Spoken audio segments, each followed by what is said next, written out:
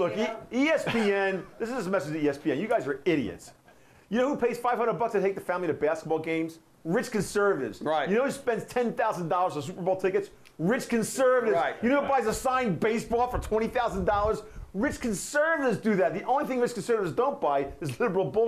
Right. So this cracks me up. They turn themselves into MSNBC Sports, and when they get ratings like MSNBC, they can't figure out what happens. Yep. Like, well, it is. Exactly.